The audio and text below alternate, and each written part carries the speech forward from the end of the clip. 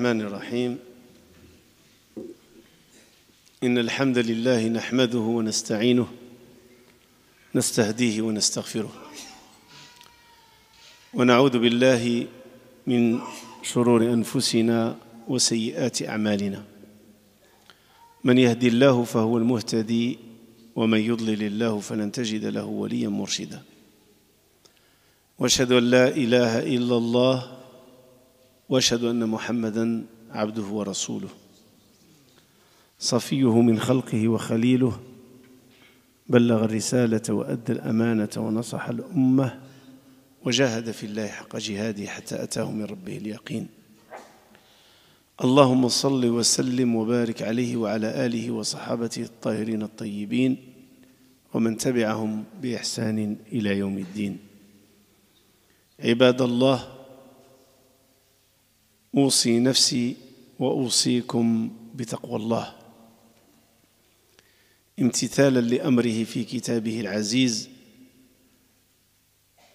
يا أيها الذين آمنوا اتقوا الله حق تقاته ولا تموتن إلا وأنتم مسلمون. وقوله سبحانه يا أيها الذين آمنوا اتقوا الله وقولوا قولا سديدا يصلح لكم أعمالكم ويغفر لكم ذنوبكم ومن يطع الله ورسوله فقد فاز فوزا عظيما. أما بعد نجدد اللقاء ونواصل مع أمهات المؤمنين. مع الحياة الزوجية للرسول صلى الله عليه وسلم وعلى آله وصحبه أجمعين. وقفنا مع أم المؤمنين خديجة التي صنفت في خانة من أكمل النساء ولم يكمل من النساء إلا قليل.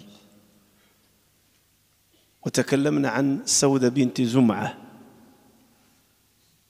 التي أرادت كما كان لها رسول الله صلى الله عليه وسلم زوجا في الدنيا أن تحشر في زمرة أزواجه في الآخرة. واليوم مع الزوجة الثالثة وهي اللب والروح والعقل وكل شيء في الحياة الزوجية النبوية. عائشة بنت الصديق الصديقة رضي الله تعالى عنها وعلى والدها. تزوجها الرسول عليه الصلاة والسلام وعمرها تسع سنوات بعد غزوة بدر في شهر شوال وخطبها وهي بنت سبع سنوات. وزوجه الله إياها من فوق سبع سماوات كما ذكر لها وكما تروي هي كما جاء في الحديث الصحيح أنه ثلاث ليالي متتاليات يرى رؤيا. هذه الرؤيا يرى أن شيئا ما سلمه له ملك في قطعة حرير. فلما كشف عن قطعة الحرير إذا بالموجود في هذا الحرير أم المؤمنين عائشة بنت أبي بكر الصديق رضي الله عنهما. لها ميزات عدة. وكانت تتباهى وتفتخر أنها البكر الوحيد التي تزوج بها الرسول صلى الله عليه وسلم وعلى آله وصحبه. كل نساء المصطفى صلوات ربي وسلامه عليه وعلى آله وصحبه سبق لهن الزواج. يا إما أرامل يا إما اعتنقنا الإسلام كماريا وصفية. أما عائشة فخطبت له عليه الصلاة والسلام مباشرة مع خطبة سودة بعد وفاة خديجة عمرها سبع سنوات. صحيح لو وضعنا الأمر في إطار المجتمع اليوم. بنت تخطب وعمرها سبع سنوات ويدخل بها الرسول عليه الصلاة والسلام وهي بنت تسع سنوات كما صرحت هي بنفسها. والمجتمع اليوم أن سن الزواج هو 18 سنة ومن تزوجت قبل 18 سنة تسمى قاصر. فهنا المقارنة لا تصح ومن أراد أن يقارن فعليه أن يراعي الفارق. كما يقول أهل الأصول القياس مع مراعاة الفارق. والفارق هنا جوهري. الفارق متى الإسلام يعد الشخص ذكرا أو أنثى مكلفا. ومتى الإسلام يسمح للإنسان ذكرا وأنثى أن يتزوج؟ هذا هو الفارق. لو وضعنا الأمر في إطار القوانين الموجودة الآن في المجتمع الغربي وحتى في المجتمعات التي الآن صارت تسير نهج المجتمع الغربي المعروف هو 18 سنة. وأقل من عشر سنة هو زواج قاصر وتقام الدنيا ولا تقعد. وتتكلم عن ذلك الصحافة والوسائل الإعلام تتناقل الخبر ويقولون عنها قاصر.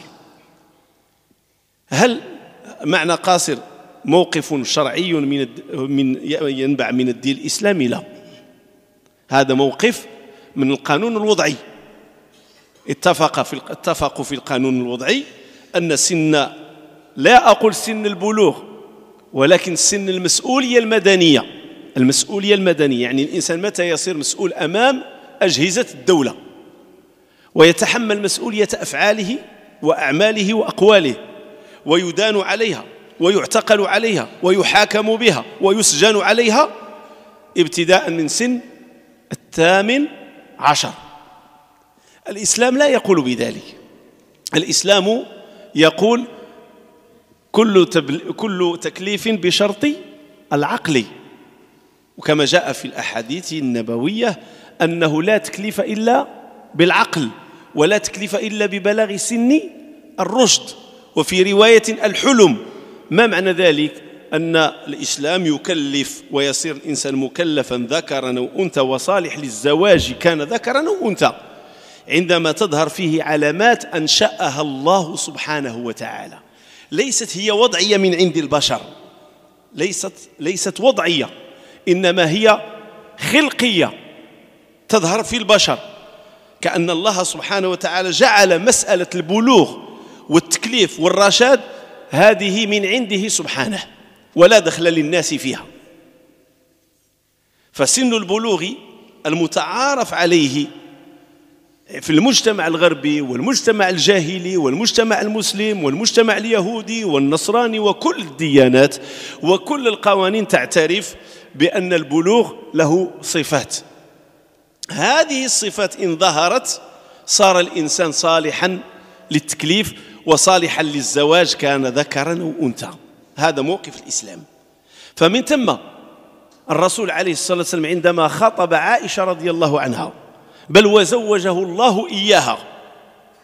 كانت قد دخلت سن البلوغ وبنى بها وهي بالغ راشد. لا ينبغي للمسلم أن يتصور الرسول عليه الصلاة والسلام بنى بفتاة لم تصل سن الرشد. إياك أيها المسلم أن تضع نفسك في هذه الخانة وفي هذه الدائرة تتهم الرسول عليه الصلاة والسلام بأنه تمتع بفتاة قاصر. كما يقول المستشرقون وأعداء الإسلام. لا إنما هو بنى بها وتزوج بها ودخل بها وكان هذا عرفا سائدا لم يستنكر ذلك أحد. إنما جاء الاستنكار في هذه الأزمنة المتأخرة. الأزمنة المتأخرة هذه جاء فيها الاستنكار. أما في الأزمنة التي واكبت الإسلام وما بعد نهضة الإسلام والحضارة الإسلامية لم يستنكر ذلك أحد لم يستنكره. لماذا؟ لأنه أمر عادي جدا. الناس تتعارف فيما بينها أن المرأة لها علامات الأنوثة. ومن علامات الأنوثة أن يبرز صدرها وينبت الشعر وما إلى ذلك. معروف أن تصير حائضا. فهذه من علامات الأنوثة التي تقول وتشير أن المرأة الآن صارت صالحة للزواج وللحمل والوضع وما إلى ذلك. وهذا ثابت بالعلم لا شك فيه. العلم اليوم وقد تطور الإنسان في الجانب العلمي يقول أن ممكن للفتاة بنت عشر سنوات إذا بلغت أن تصير حاملا. يعني صار الأجهزة التناسلية فيها دخلت في وظيفة الولادة. والدورة الدموية ما يسمى يعبر عنها بالحيض إنما هي لتهيئ الرحم لاستقبال المولود أو ما يسمى باستقبال البويضة أما ما عليه الغرب وما عليه الإسلام فشيئان مختلفان طريقين مختلفين. فلا نقارن الإسلام بالحضارة الغربية. فإن كانت الحضارة الغربية اتفقت على 18 سنة وهي الآن تفرضها على المجتمعات ويصير خلاف ذلك قاصر واعتداء على الأنوثة واعتداء على الفتيات هذا اجتهادهم. أما نبينا نبي الرحمة صلى الله عليه وسلم فهو لم يعتدي. هل ترون الله يعتدي عندما يزوج نبيه بعائشة؟ وما ربك بظلام للعبيد؟ لكن عندما يدخل الإنسان كما يقول مثل من دخل الماء خرج منه مبتلا نحن اليوم في هيمنة فكرية للحضارة الغربية. فمن ثم بعض المسلمين يجدون حرجا في أن يقولوا أن الرسول خاطب عائشة رضي الله عنها وصلى الله عليه وسلم وهي بنت سبع سنوات وبنى بها وهي بنت تسع سنوات. ويحاولون الالتفاف لأن ضعف موقف المسلم أمام البريق. الحضارة الغربية أما نحن فلا نضعف في هذا الباب. والشاهد عندنا كم من فتاة تغتصب وهي بنت تسع وعشر سنوات وتقع حامل بنت وتسع عشر سنوات. الميزان الشرعي والتناسل والتوالد والتزاوج الله سبحانه وتعالى هو الذي أنشأه. الله سبحانه وتعالى قال في اليتامى وإن آنستم منهم رشدا أي بلغوا سن الحلم فادفعوا إليهم أموالهم. هذه مسائل الإرث. الإنسان مات وترك له أبوه تركة وهو صبي صغير لم يبلغ سن الرشد يعني يقوم عليه عمه وأعمامه أو واحد مكلف من الدولة يقوم على تركته إلى أن يبلغ سن الرشد. فإن بلغ سن الرشد وليس ثمانية عشر سنة سن الرشد قد يكون عشر سنوات قد يكون إحدى عشر سنة قد تكون 12 سنة تدفع له أمواله. أنت الآن راك صرت مسؤولا. بلغت سن الرشد وهذا مالك وهذه تركتك أنت مسؤول عنها. الإسلام يجعل الإنسان يقتحم ميدان المسؤولية في سن مبكرة. لاحظوا بعض الأحداث كتحصل. أحداث شغب. كيقوم بها بعض بعض الشباب. وينظر إليه الشرطي. ويقول لك الشرطي تقول له يقول لك؟ ما نقدر ندير والو.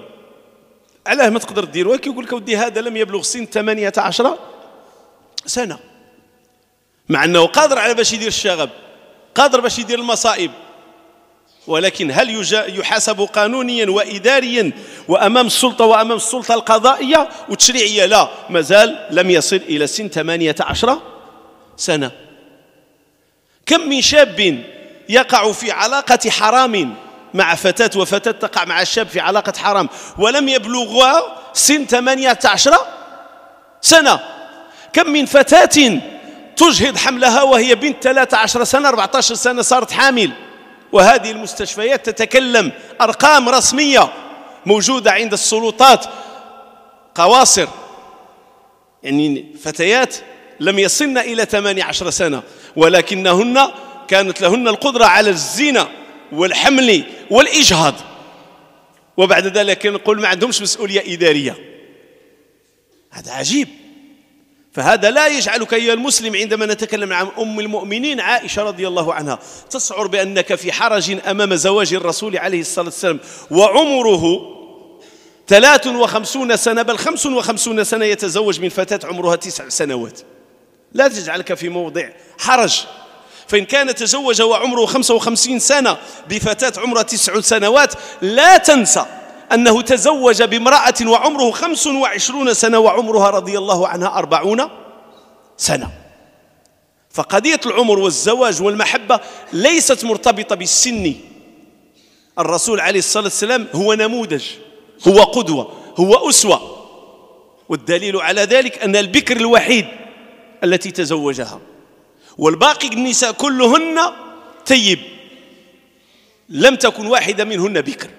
وهذا دفاع عن الرسول عليه الصلاة والسلام أنه لم يكن كما يصفه البعض البعض من المستشرقين والأعداء والمغرضين أنه كان يتحرى النساء الجميلات وصغيرة السن. حاشا ما عاد الله.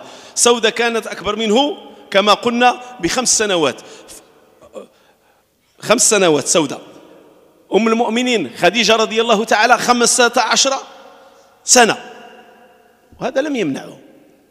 أما عائشة فكانت كان هو أكبر منها. لو قلنا عشرة إلى ست وخمسون كم هي؟ فارق؟ 46 سنة. هل في ذلك حرج؟ والله ليس في ذلك حرج. ما دام هي راضية وقد دخلت سن التكليف. وأبوها راضي ولي أمرها راض وأمها بل فرحوا بذلك. أبوها وأمها فرحوا بذلك. وكان يقول لأمها أم رومان اعتني بها. واتق الله في من خلال عائشة. أحب عائشة وهي لم وهو لم يبني بها. أحبها ولم يبني بها. لماذا أحبها ولم يبني بها؟ لأن هذا الحب ماشي حب شهواني كما هو اليوم. هذا حب إلهي. أحبها من عند الله سبحانه وتعالى. لو أنفقت ما في الأرض جميعا ما ألفت بين قلوبهم ولكن الله ألف بينهم. المحبة هو أمر رباني. المحبة أمر رباني. ما يراه الناس اليوم من محبة هذه ليست محبة التي يصبو إليها الإسلام ويدعو إليها الإسلام ويحث عليها الإسلام. فإن كنا وضعنا خديجة في خانة الثقة المتبادلة بين الزوجين ووضعنا سودة بنت زمعة في خانة أنها ضحت من أجل محبتها للرسول وتريد أن تحشر معه ومع أزواجه فنضع خدي فنضع أم المؤمنين عائشة رضي الله عنها الصديقة بنت الصديق في خانة المحبة. بيت النبوي بني على المحبة. أحبته وأحبها. مع فارق السن بينهم وفارق السن لم يطعن. ولم تشتكي أم المؤمنين عائشة رضي الله عنها يوما أنها تزوجت من رجل أكبر منها سنا. بل كانت تفتخر بذلك. ورفع الله مكانتها فوضعها في زمرة أمهات المؤمنين. وقد سئل الرسول عليه الصلاة والسلام في الحديث الصحيح عمرو بن العاص رضي الله تعالى عنه قال سألت الرسول عليه الصلاة والسلام من أحب الناس إليك؟ فقال لي عائشة. هكذا. عائشة من أحب الناس إليك يا رسول الله؟ عائشة. ثم قال له من الرجال. قال أبوها. أحب البنت وأحب الأب. الأب الصديق صاحب الغار الرفيق رفيق الدرب والمسيرة. وأم المؤمنين عائشة رضي الله عنها التي عاشرته ثمان سنوات كذلك أحبته وأحبها. والدليل على ذلك روايات كثيرة. لو وضع كل زوج وزوجة أمامهما لا والله لسعدت البيوت المسلمة. كان يمارس مع بعض الأشياء لا يمارسها مع الزوجات. ليس من باب الظلم أو التفاوت لا. سن عائشة كان يسمح لها بذلك والسن الزوجات الأخريات لا يسمح لهن بذلك. وأعطيكم مثالا. سأل أحد الصحابة أم سلمة زوجة الرسول عليه الصلاة والسلام وكانت كبيرة كذلك في السن. فقال لها فقال لها هل كان الرسول يقبل في رمضان؟ هل كان الرسول يقبل زوجاته في رمضان؟ القبلة من الفم إلى الفم. قالت له لا. قال لقد سألت عائشة وقالت لي كان يقبلني في رمضان وهو صائم. فقالت معها هي؟ نعم أما معي أنا أو إياي فلا. عائشة كانت صغيرة وأم سلمة كانت كبيرة فكانت علاقته بعائشة غير علاقته غير علاقته بأم سلمة فارق السن. نضيف على ذلك كان يسابقني وأسابقه. عائشة رضي الله عنها تروي. كان الرسول عليه الصلاة والسلام يسابقني وأسابقه يعني كنجري أنا وياه. فكنت دائما أسبقه. فلما أخذني اللحم يعني كبرات وتقالت سابقني فسبقني. يعني سابقني جرى معايا فسبقني أي كان له السبق هو اللي ربح السباق. فقال لي هذه بتلك. فايتي سبقتني وأنا اليوم سبقتك. كان يزاول مع هذه المسائل الرياضية والمداعبة لا يزاولها مع أمهات المؤمنين. وهذه ليس فيها ظلم. لا يظن الإنسان أن هذا من باب أن يفضل هذه ويتر... لا. هذه مسائل تليق بصغيرة السن ولا تليق بكبيرة السن. لعل قد يرى فيها البعض لو سبق كبيرة السن لا رأى فيها شيء من فقدان المروءة. لكن عائشة كانت صغيرة في السن. وكان الرسول عليه الصلاة والسلام يعطيها ويخاطبها ويعاملها على قدر سنها لا أقول على قدر عقلها بل كانت ذات عقل راجح لكن كان في نفس الوقت يراعي فيها جانب السن. كان يعطيها العظم فيه لحما فتأكل منه فيأخذه منها ويأكل حيث أكلت هي تمد له العظم بالجهة المملوءة. يعني مثلا خذت العظم اللحم كلات منه فتمد له في الجهة اللي باقي فيها اللحم فيدير العظم. صلى الله عليه وسلم وعلى آله وصحبه ويأكل من المكان الذي أكلت لأن كان ذلك يطيب قلبها ويرفع قدرها عنده. فتنظر إليه نظرة عجيبة يبين لها مكانه. أي أنه لا ينفر منها بل كانت إذا شربت من الإناء من الكأس فأخذ الكأس وجعل شفتيه في مكان شفتيها ويشرب. فكانت تحب ذلك منه وكان يبرز لها ذلك لصغر سنها. أنه وإن كان كبيرا في السن لكن كان يعطيها من المداعبة والمعاشرة ما يظهر لها أنه السن ليس له دخل في هذه الأمور. فأحبت ذلك منه. أشياء كثيرة من هذا النوع. فعليه الصلاة والسلام أعطاه هذه المكانة المحبة. وهي محبة كان يقول هذه قسمتي في أهلي. يعني كان يحرص صلى الله عليه وسلم أن يتقاسم الواجب الزوجي مع زوجاته بالتساوي. إذا قضى ليلة هنا قضى ليلة هنا. إذا اشترى لهذه اشترى لهذه. وإذا عامل هذه في مسائل مادية بهذه الطريقة يعامل هذه كذلك بنفس المسألة. هذا من عدله صلى الله عليه وسلم. لكن في مسائل الشعور والمحبة فكان لعائشة قدر خاص. ولا أحد يستطيع أن يلومه في ذلك. لأن هذه محبة زرعها الله في القلب. لكن هل هي محبة اغتباط أو محبة جازفة أو محبة غير مبنية على مسائل شرعية؟ كلا. عائشة تستحق تلك المحبة منه صلى الله عليه وسلم. تستحق. لأنها كانت على صغر سنها ذات علم ذات معرفة ذات ذكاء ذات نباهة. كانت تسأل. إذا دخل البيت كانت تسأله عن الدين وتسأله عن القرآن وتسأله عن الحديث. فتعلمت منه حتى أنها صارت من الراويات اللواتي رو... يعني المرأة الوحيدة التي روت ألفين حديثا. تأتي بعد أنس بن مالك وأبي هريرة رضي الله تعالى عنه في المرتبة. أبو هريرة روي أكثر روي روى أكثر من 400 من 4000 حديث. أنس بن مالك قريب منه. لكن عائشة روت ألفين حديث. فقد سمح لها صغر سنها. وذكاؤها أن تحفظ من من الأحاديث ما شاء الله. وخاصة خاصة الأحاديث التي لها علاقة في الحياة الزوجية وفي داخل بيت الرسول عليه الصلاة والسلام. بل وأهل العلم يجعلون أحاديث عائشة فيما يخص الحياة الزوجية مسبقة ومقدمة ولها أسبقية على أحاديث كبار الصحابة لأن هذا الشأن الداخلي. إن روى صحابي في مسألة ما حديثا وجاءت أم المؤمنين وهذا الأمر يخص النساء ويخص الحياة الزوجية والقرب من شخص الرسول عليه الصلاة والسلام فأهل العلم يقدمون عائشة على غيرها من الرواة حتى ولو كانوا صحابة. لماذا؟ لأنها أعلم بشأنه صلى الله عليه وسلم وعلى آله وصحبه. مثلا أعطيكم مثال. بعض الصحابة يروي أن الله أن رسول الله رأى ربه. بعض الصحابة يروي أن الرسول عليه الصلاة والسلام في ليلة المعراج رأى الله سبحانه وتعالى.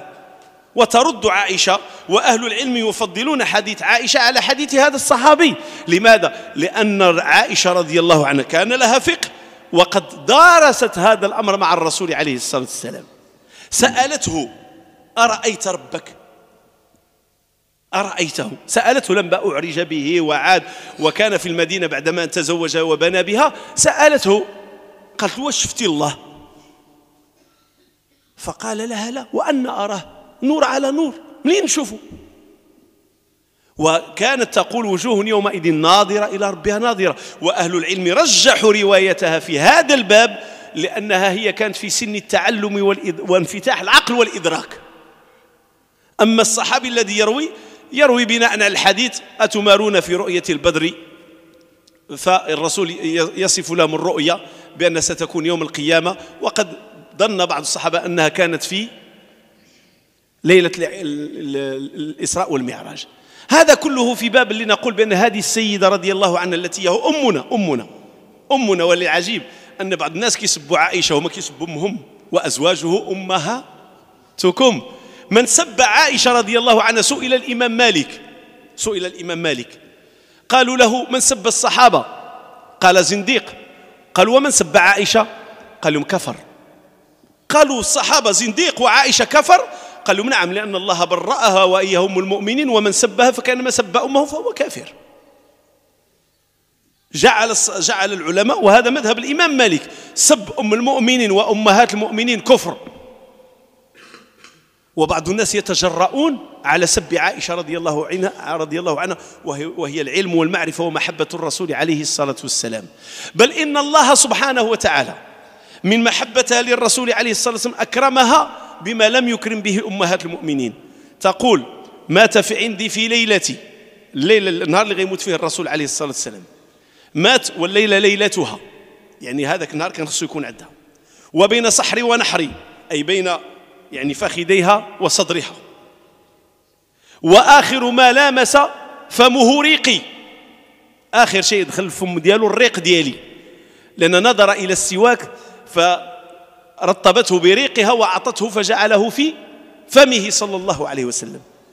يعني وتصف وبات ومات عندها في بيتها. وهو أين مدفون الآن صلى الله عليه وسلم؟ هذه حجرة عائشة رضي الله تعالى عنها. هو مدفون في حجرة عائشة. التي هي جزء من المسجد النبوي الآن.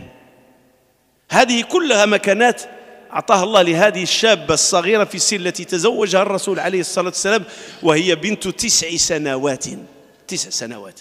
وأؤكد على هذه المسألة لأني أعلم أن كثير من المؤمنين سيجدون ومن المسلمين حرجا في أنفسهم أن يسمع أن الرسول تجوز بنت تسع سنوات. الإسلام أيها المسلم ينظر إلى المسائل. هل هي صالحة للزواج أم لا؟ هل هي صالحة للإنجاب أم لا؟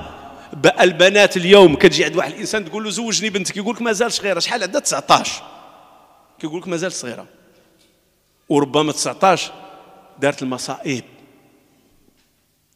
لازلنا صغيرات على الزواج ولسنا صغيرات على الفساد. الإسلام يحصن والتحصين إنما يكون ابتداء من سن البلوغ وسن الرشد. ففي زواجه صلى الله عليه وسلم بعائشة مثل وقدوة للأمة أن البنت إن رضيت بالزواج في سن مبكر تزوج ولا حرج في ذلك. الذي لا يرضاه الإسلام وأنا أعقب على البداية أن تزوج البنت على رغم أنفها. هذا لا يرضاه الإسلام. البكر تستشار. هذا لا يقبل الإسلام.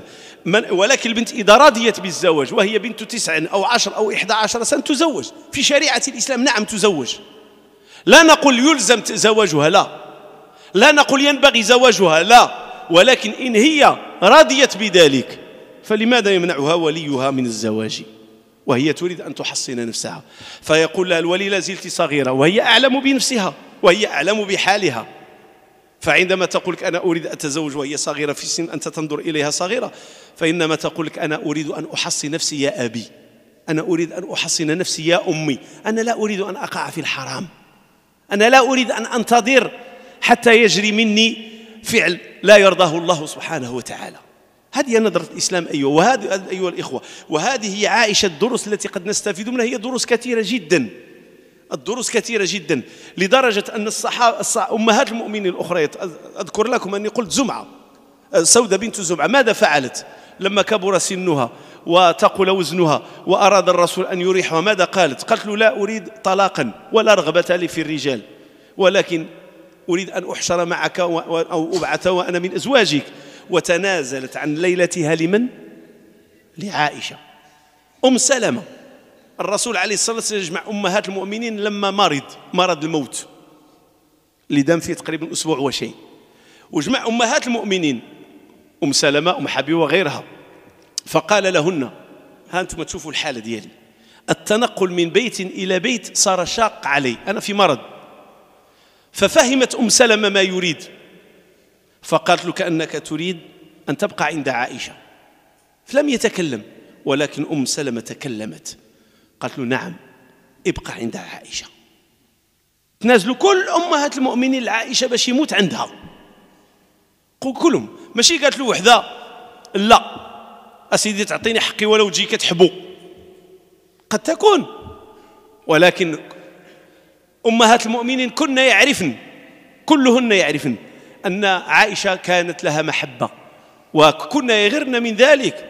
كانت هناك غيرة بينهن على على محبة الرسول صلى الله عليه وسلم لعائشة. ولكن هذه الغيرة لن تكون غيرة فاسدة أو مدعاة إلى التآمر لأن كنا يعلم أن غير أن هذه المحبة من عند الله سبحانه وتعالى. أما هو صلى الله عليه وسلم فلم يظهر مرة أنه يتعامل مع أزواجه تعامل الظلم وتعامل التمييز أبدا. كنا يعرفن أن التعامل الذي يعطيه لعائشة هو تعامل خاص لصغر سنها وقدرها عنده وأن هذا ليس فيه ظلم. ومن العجائب أن مر مر أبو بكر الصديق ببيت الرسول صلى الله عليه وسلم بحجرة عائشة فسمعها ترفع صوتها على الرسول عليه الصلاة والسلام. سمعها كتغوت رفع صوتها. فدخل عليها وأراد أن يضربها فحال الرسول بينه وبينها. لو واحد فينا الآن رفعت على المرأة الصوت وجبها بغى يدخل وبغى يسلخها يقول له أعطيها. زيدها. لا دخل الرسول بينه وبين أبي بكر وعائشة. توسط ودفع أبو بكر قالوا لا. منعوا باش يضربها. فخرج أبو بكر الصديق فنظر إليها الرسول عليه الصلاة والسلام قال أرأيت كيف حلت بينك وبينها يعني ما شفتيش كيفاش درت لك باش ما يضربكش باك فضحكت. فسمع أبو بكر الصديق الرسول يضحك وعائشة تضحك. لاحظوا كيف رضاها. يخاطبها لصغار سنها بنفس الأسلوب. قال شفتي اش درت له؟ جيت بينك وبينه ما خليتوش يمد يده عليك فضحكت وأعجبها فعله انه أحماها من الضرب ديال بوها.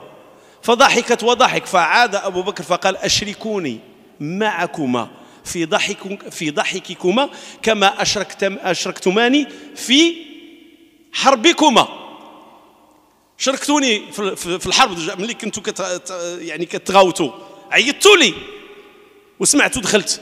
فالآن سمعتكما تضحكان فأشركاني في سلمكما كما أشركتماني في حربكما.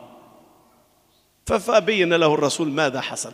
وكان الرسول عليه الصلاة والسلام يعرف خباياها وطبائعها. فقال لها إني لأعرف عندما تكونين غضبان عني وعندما تكونين راضية عني. قالت له كيف ذلك يا رسول الله؟ قال إن كنت راضية تقولين ورب محمد. وإن كنت غضبانة تقولين ورب إبراهيم. قالت والله يا رسول الله لا أهجر إلا اسمك. يعني أنا الهجران ديالي هو ما نذكرش سميتك أما القلب راه عالم به الله من كي داير فلا أهجر إلا اسمك. كنقسم بالله ونهجر الاسم ديالك أما قلبي ما يقدرش يهجرك. فكانت فعلا بينه وبين عائشة والكلام طويل لكن إذا أردنا أن نلخص علاقته بعائشة إنما هي علاقة المحبة المحبة الطاهرة المحبة العافية يعني التي هي مبنية على الصدق المحبة التي مبنية مبنية على الرضا ليست الحب والمحبة الذي نراه اليوم. يسمع شي واحد يقول الرسول عليه الصلاة والسلام حب عائشة يمشي تا هو يحب لا حبها وهي زوجته. أما الحب الموجود الآن فهذا حب حرام. أن يحب الإنسان زوجته؟ نعم. وأن تحب الزوجة زوجها؟ نعم. أن يغار الزوج على زوجته؟ نعم. وأن تغار الزوجة على زوجها؟ نعم. هذه في العلاقة الشرعية المبنية على زواج شرعي. هذه المحبة مرحبا بها. ولا عيب في ذلك أن يحب الزوج زوجته وأن تحب الزوجة زوجها, زوجها. لأن نقول هذا الكلام إخوتي قد يشعر به إنسان ثقيل. ولكنه في الحقيقة يا إخوة هذا هو الدين ديالنا. المحبة موجودة في الحياة الزوجية. دخل الرسول عليه الصلاة والسلام على عائشة في يوم عيد وكان الأحباش يلعبون بالرماح. يعني الأحباش هما نوع الحبشة كيسموا كيرقصوا بالرماح يوم العيد. فكان يحميها بظهره فأسندت عنقها إلى كتفه فكانت تتفرج على الأحباش بين أذنه وكتفه وهو واقف حتى شبعت. يعني بقات تفرج حتى عيت ويسمح لها بذلك.